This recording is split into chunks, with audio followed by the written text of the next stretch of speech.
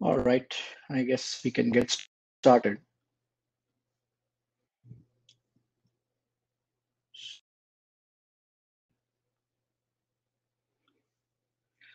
So, uh, good morning, good evening, good afternoon, wherever on this globe you are.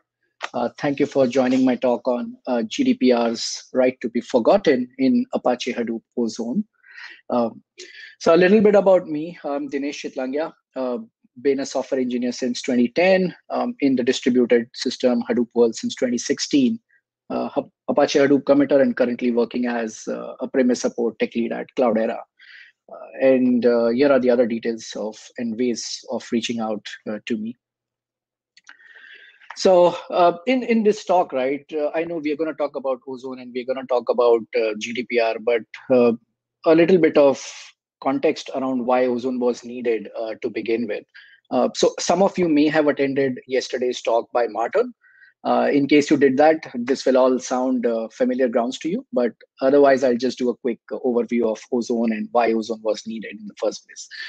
So uh, as we know, right, HDFS offers way beyond a scale and performance. Like it's pointless to talk about the kind of scale and uh, performance HDFS gives because it's been used across the globe in massive uh, data systems at scale, right? So uh, that's a known fact.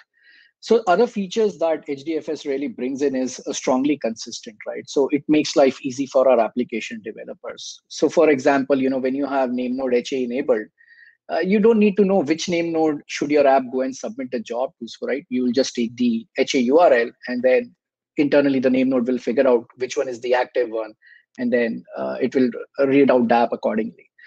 It's reliable, right? So say, for example, all your nodes got shut down or you know you had a power outage or something in your data center, uh, you are pretty much assured that when you plug in the systems back and restart, uh, your name nodes and your HDFS cluster will return in a very consistent uh, state, even from such catastrophic failures, right?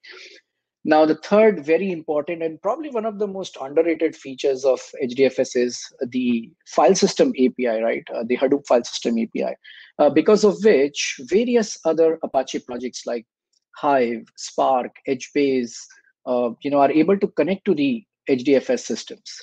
And not only these projects, but you can eventually connect with the cloud like the Azure storage or the S3 storage using that file system compatible API. Aside from this, uh, security is obviously a very, very robust uh, area in HDFS. We have Kerberos, we have encryption at rest, encryption in motion, we have POSIX ACLs as well, right? Uh, but that said, right, every uh, there is no system which is ideal in the world. Uh, so, of course, you know, for HDFS, we have the one famous limitation uh, of scaling to up to say 350 million files, and thereafter we run into problems with heap size and the file count and all that. Of course, this is not a problem when you're storing large files. Um, uh, it's primarily related to the small files in the system. And what ends up happening is we run out of name node heap long before we run out of any cluster disk space, right? So in the community, uh, over the last decade and a half, uh, several solutions have been proposed, right? Uh, for example, we can grow the heap so ZGC claims support for 16 terabyte heaps. But at that kind of heap, the 10x to 100x scale from the current 350 million is uh, still going to be impractical. The other option is, yeah, you know, you can use less heap if you can't manage with higher heap.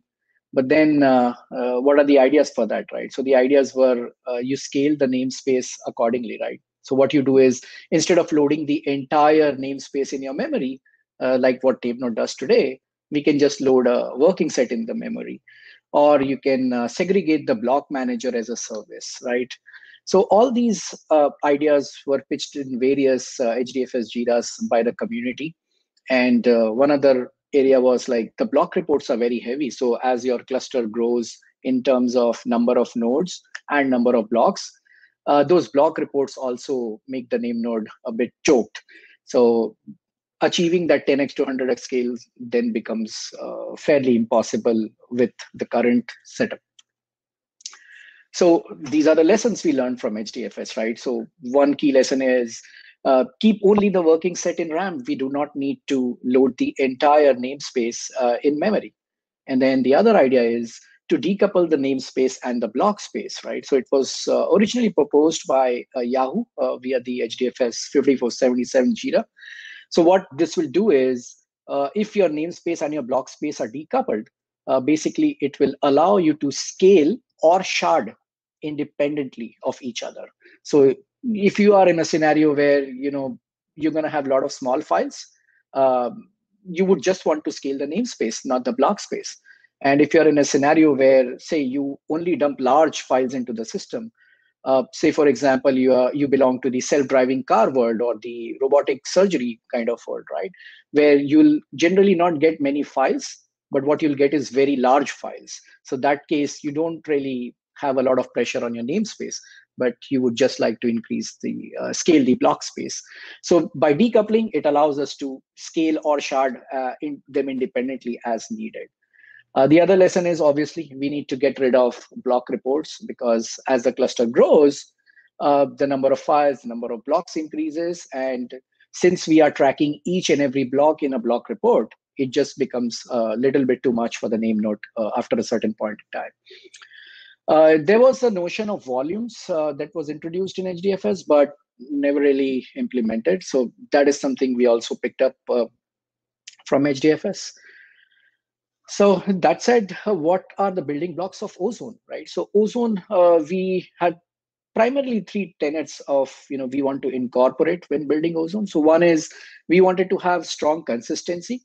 Um, otherwise, the system is just not reliable as a file storage and then we wanted to have a simple architecture because that would then uh, make it easy to manage uh, from an operation standpoint.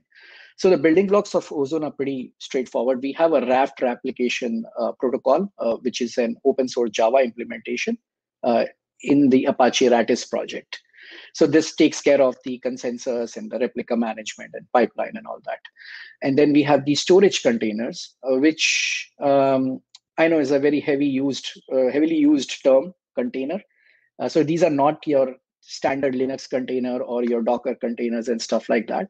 This is a logical abstraction um, within the data node. So the storage containers in Ozone use the key store key value store called RocksDB, and RocksDB, um, I'm sure you guys are aware, is a very very battle tested solution for the key value stores, which was a fork of level DB, of course.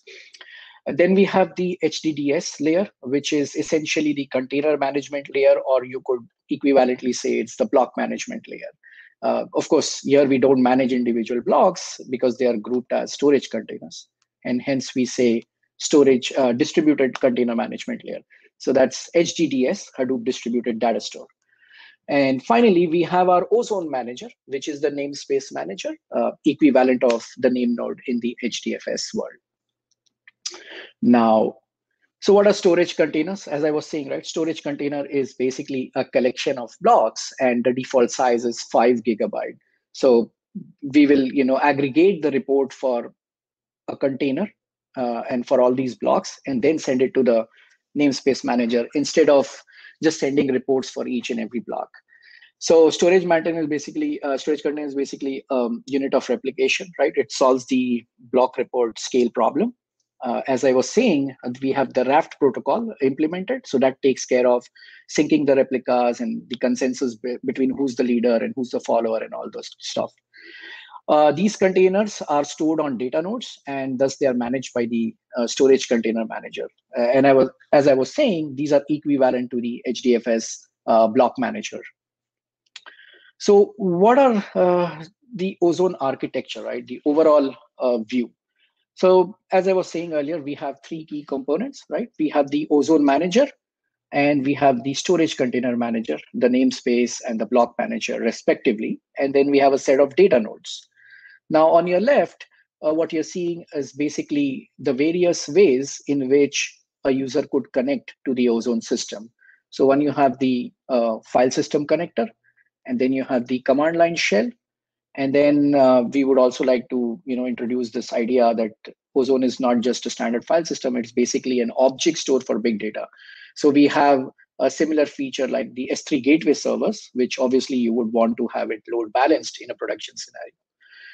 Now on the right, uh, what you see is the Recon server and the Ozone console. So operationally, it has been very challenging for uh, HDFS admins, right? If they run into a problem with a certain file or the state of the file system, they are forced to run something like the HDFS uh, DFS FSCK command, right?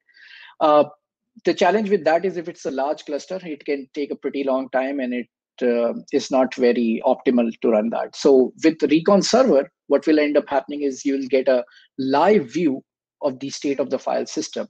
Thereby you never really have to run something like an fsck command. And ozone console is again you know provides much more insights about the file system and the metrics and all that. So operationally uh, these are tools that will help the administrators to monitor the system and then learn more about the health of the system so uh, before we dive further you know ozone jargons uh, so of course in ozone what we have is an ozone path uh, which is like you know volume followed by the bucket name followed by the key name right? So on and so forth.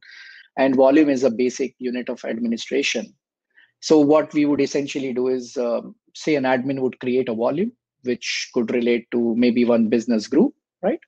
And then the users could also go ahead and create buckets uh, within that volume so bucket is nothing an equivalent of directory. So a, a volumes could have you know zero or more buckets. And eventually uh, buckets will contain the keys basically the files that you want to upload in the system. Uh, so key names are unique within a given bucket and there is no hard coded limit on the size of the keys uh, and the values can range obviously from you know empty files to anything uh, above so uh, with that architecture and with that introduction of uh, ozone it obviously gives us an ease of operation, right? Because we are using off heap memory. So there is no problem of large Java heaps or doing the guesswork around what GC parameters to put in place. It's a simplified HA model because um, Ozone by default is HA enabled and uh, the replicas communicate via the Raft protocol. And uh, there is no more uh, complexity of implementing journal nodes uh, you know, like three journal nodes at least, and then two ZKFC processes, at least three zookeepers, right? So, I mean, if you've uh, managed or implemented a Hadoop cluster, you know this part really becomes painful, especially when there is some instability in the system. And this is so much more you need to spend basically to have these kind of components running. Uh, of course, the SCM ships with its own certificate server. So what ends up happening is uh, it will automatically, when you add a data node into the system, it will basically authenticate itself using that certificate. So you no longer have a scenario where, say, if you have a 3000 node cluster, um, for each data node, you do not have to create a Kerberos principles. Uh, and I've seen that in the past, you know, some customers or some users will end up bypassing that and will simply use a generic principle by using the wildcard uh, of asterisk, which is obviously defeats the purpose of having that security. So it's come, you know, it's with its own certificate server that makes it easy to manage uh, uh, the principal creation and all for each and every data node because there's no longer a need to create those principles. And as I was saying earlier, Recon server, it provides a live view of the file system state. So you never have to run something like IFSCK again. And um, you know, over the last decade and a half, people have seen that managing the client configurations uh, sometimes becomes difficult because you need to ship those same site files uh, in every node. And sometimes uh, in multi-tenant systems, what we have observed is, although you may have a Hadoop cluster being managed by a centralized administration tool like a Cloudera manager or an Ambari, but there will always be some edge nodes which are not managed by these uh, management consoles. So keeping the configuration in sync is obviously a challenge, and you run into situations where people use incorrect client configs and jobs failed and could not get submitted. So in Ozone, what will happen is, uh, you know, we the client will basically directly contact the Ozone Manager server and get the configs. So that will simplify this process. Now, uh, write key uh, in Ozone is basically same as um, what we have in uh, the HDFS world, right? So a client calls a put key on Ozone Manager. Ozone Manager will always have some pre-allocated blocks, uh, uh, you know, and container pipeline combinations from SCM. Uh, so once the Ozone Manager will share these allo blocks to the client, client will directly talk to that particular data node wherever those blocks are, uh, write the data as chunks and update the metadata. And once the client is done writing, it will on Ozone Manager, which is nothing but a you know close the file, I'm done with it kind of situation. Read again is pretty much very similar to the HDFS path. Client says uh, to Ozone Manager, uh, get me this key, and then Ozone Manager brings the key location infos. Once the info is available to client, it goes directly to that data nodes and then reads the data blocks as chunks. Now, um, let me just break out of this slide for a moment and then uh, let's go see what's happening here. Uh,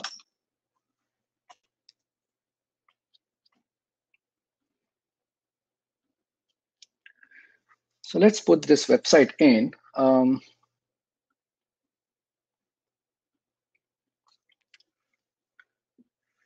and I've observed that this website does run a bit slow. So So basically, this is the GDPR enforcement tracker website, uh, and you will always get a live view of every GDPR violation that happens and the fines that are imposed on whichever entity for whatever reason. So you know, we can see on top, right, some new fine amount of 35 million euros for you know which company like that. Uh, and uh, if you scroll down further, you'll see massive amount of fines being imposed on very very popular names as well as the not so popular business names. So this site is basically our window uh, which tells us okay where all the gdpr violations uh, are serious and it's not to be taken very lightly.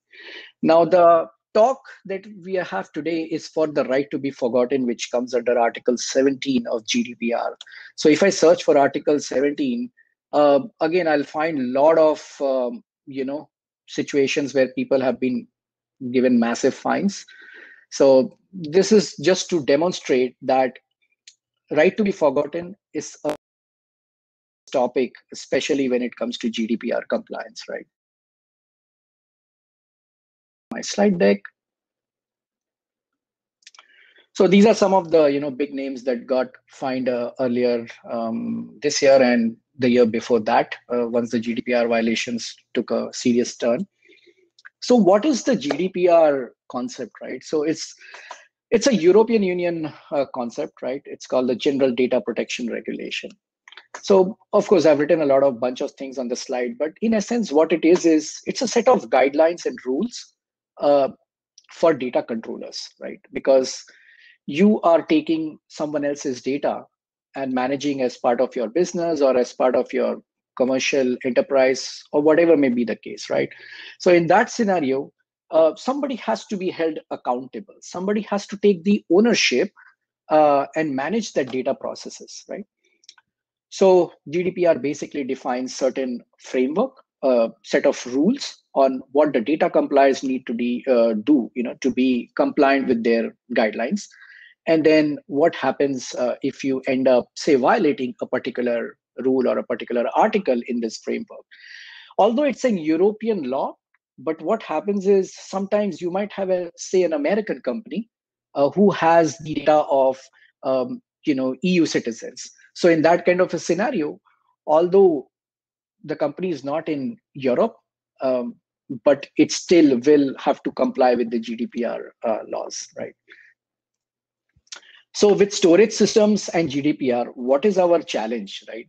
Uh, the first one is the territorial scope, right? So in, in the olden days, yeah, you would have a scenario where the data stays in that geography and your storage system is in that geography. But now with the advent of cloud and you know all the other failover mechanisms, people want to have multiple replicas of data. And oftentimes they will also have uh, offshore replicas. So that brings the complexity of the territorial scope. Then the challenge is about the personal data that anybody stores in the system. And there comes the right to erasure. It is one of the principles in GDPR. It is also known as right to be forgotten. So what it means is um, say for example i'm an eu citizen and i'm on facebook and i have uploaded some photos or you know some stuff there on facebook as an eu citizen it gives me a right to just go on uh, to facebook and ask them to delete all my data from all their systems all their backups and everything and facebook because is the data controller in this scenario it has a notification obligation so what that means is that Facebook has to give me in writing that, yes, I have deleted all your data. And whatever reason, we find that it's not true. Some amount of data is still left somewhere, right? So that counts as a GDPR compliance uh, violation. And thereby, you know, the organization might be fined. So this is the kind of problem statement that we are trying to solve. Now, historically, in large and uh, distributed systems, what we have seen is the actual data blocks will get deleted, you know, much later. So how do you, as a controller, uh, you know, can certify that yes, I have deleted this data, uh, and you know, we have complied with the GDPR regulations, right? So that is the problem that we'll talk about. So this is the delete path um, of Ozone. A client calls a delete key on Ozone Manager. Uh, then the Ozone Manager calls the same method on SCM. SCM goes to the data nodes, which has those containers, and it will call the delete blocks. But even before all this happens, the moment Ozone Manager gets the delete key request, it acknowledges that the key has been deleted, right? Right after it communicates to SCM. But the actual data blocks are still there in the system. Now, under the hood, what happens? Once the Ozone Manager gets the delete key request, um, in the memory, it has a table called, you know, deleted keys table, where it moves the information about that particular key, which the client wants to delete. So in the Ozone Manager, there is also a key deleting service which runs periodically, right? So it just checks uh, after every certain period of time, it will tell the storage container, hey, these are the new set of keys I'd like you to delete. Storage manager acknowledges that and after that, the key deleting service will empty the table because the message has been passed. And as I was saying, right, um, the, uh, the storage container manager will then, you know, create a deleted block manifest. It will sort it by data nodes because, uh, you know, containers will be residing on the data nodes. And then it will send those manifests to data node. And then, you know, uh, there is an internal process by which the data node will eventually pick up that manifest and clear all the block. So with this, the problem is that we don't know when exactly it will be deleted. And since we don't know when exactly it will be deleted, there is almost no way, uh, you know, by which you can certify that I have complied with the GDPR uh, situation, and uh, and I can assure in writing that the data has been deleted. So how do we address this problem in Ozone? So in Ozone, we thought, okay, um, why don't we lose the encryption key, right? So if you don't know the key with which the data was encoded, there is no way for you to decode. So the data is virtually uh, considered lost, right? So what we do in Ozone is um, we introduced a flag in the bucket creation commands where you can specify whether it's a GDPR enabled bucket or not. Once such a bucket is created, and if a client now wants to write a key in that particular bucket, it will first generate a simple encryption key. And the client will use this key to encode and write that data to blocks. So the blocks, you know, obviously are written in the encoded format. Now, when the client wants to read the same blocks again, uh, it will pick up the encryption key from the memory, right, from the key info uh, for each key, and will use that key to decode it and then go ahead and uh, you know reveal the data so what we did is um, during the delete phase right i was saying that the uh, let me go back to the previous slide. Uh, yeah so right here.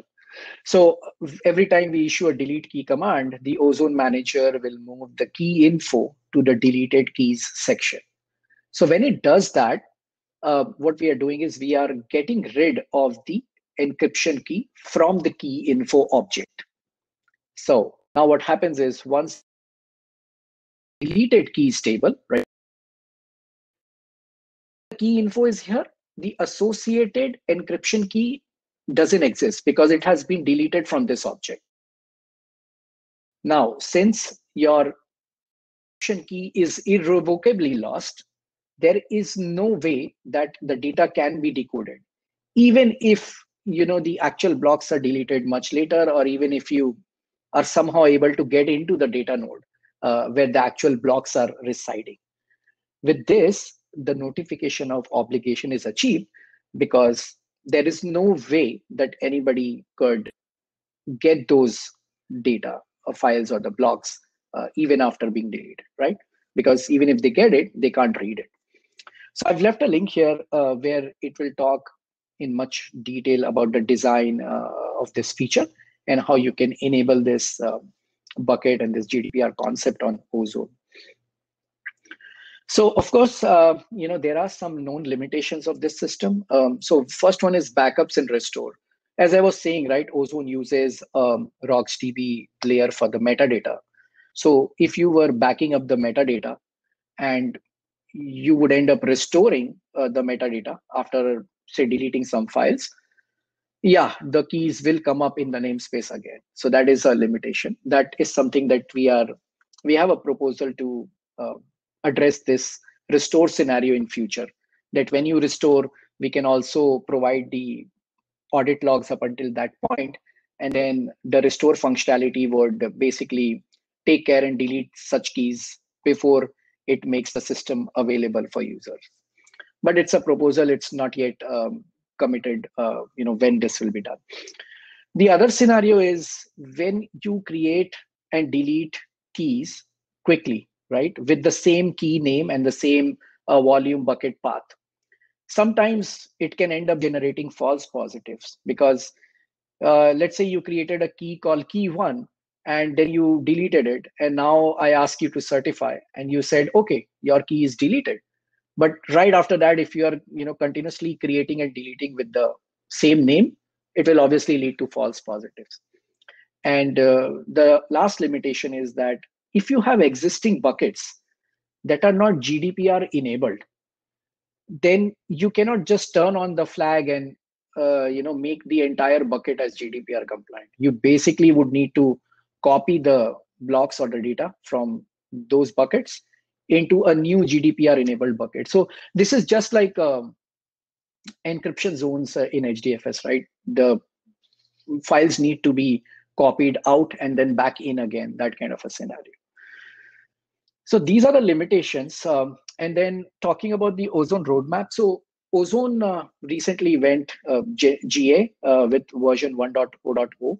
Uh, of course, before it went GA, there were uh, several alpha and a beta release uh, over the last couple of years.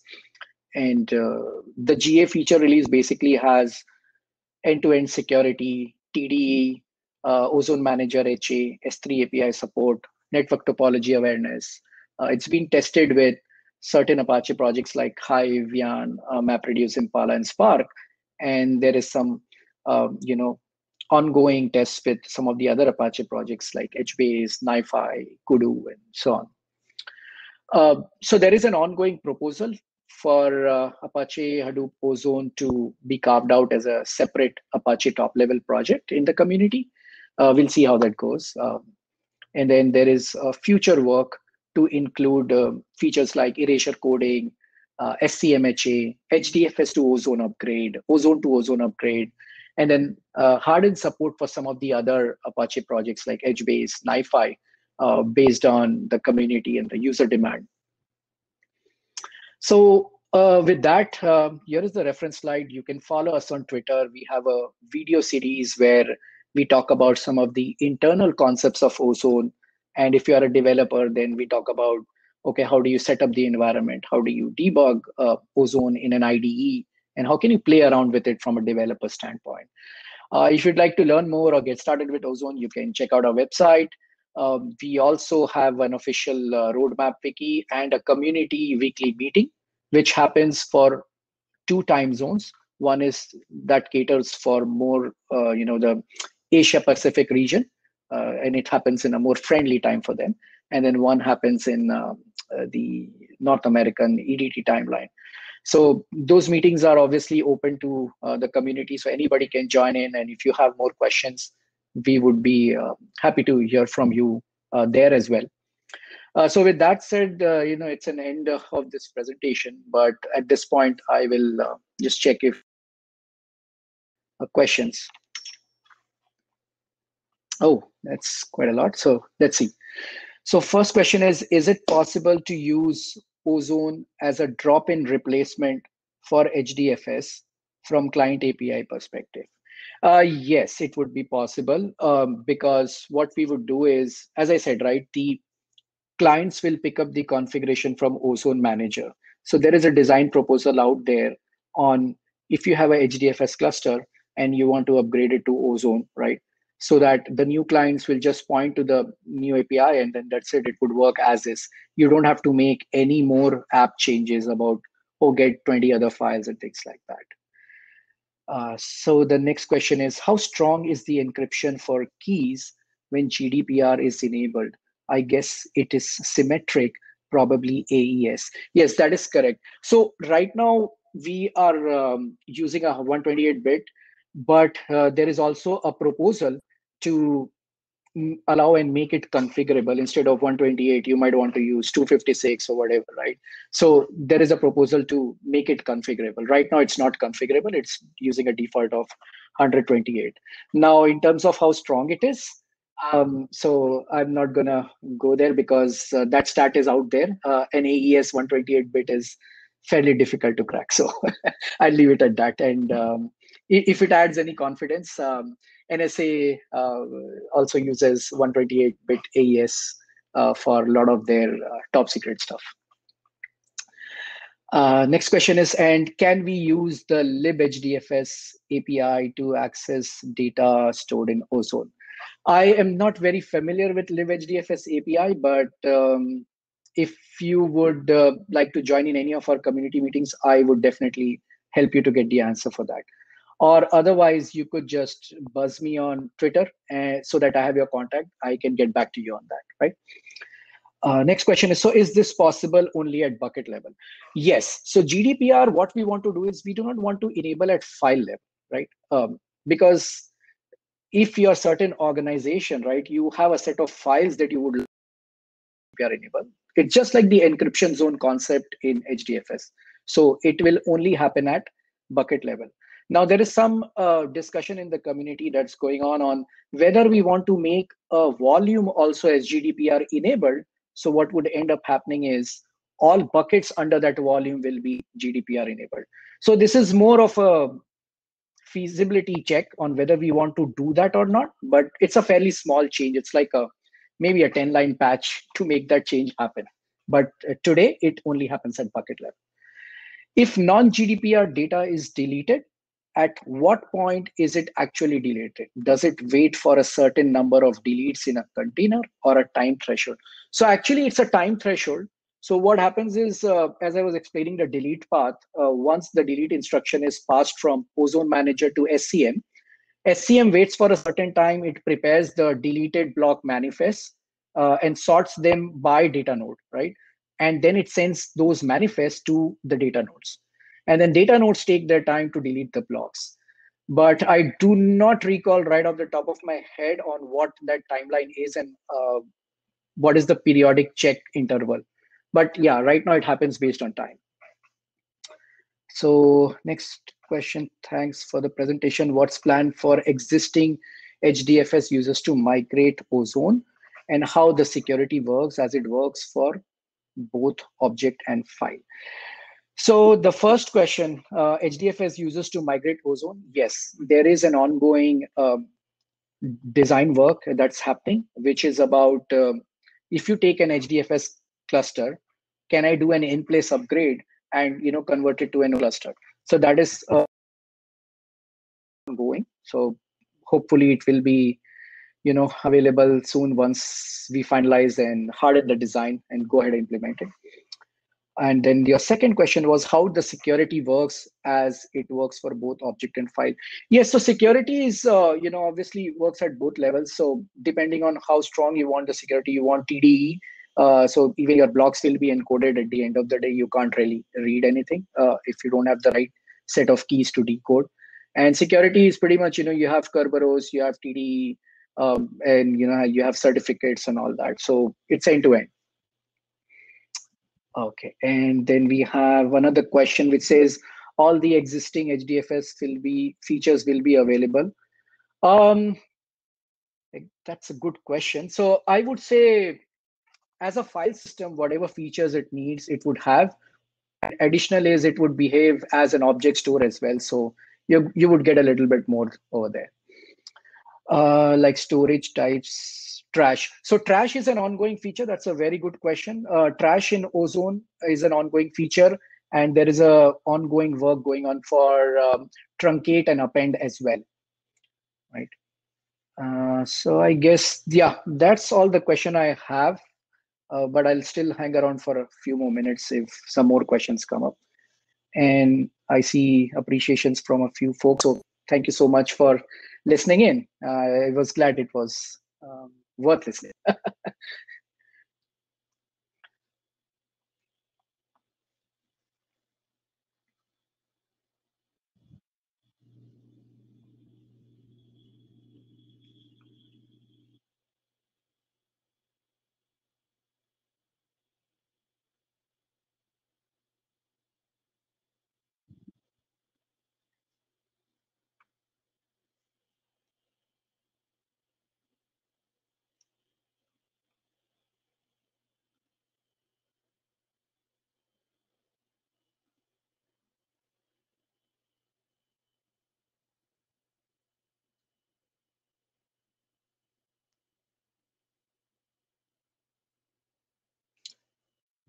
All right, I guess I can terminate the session now, um, and we'll move on to the other talks at ApacheCon. And have a happy ApacheCon. Thank you for joining.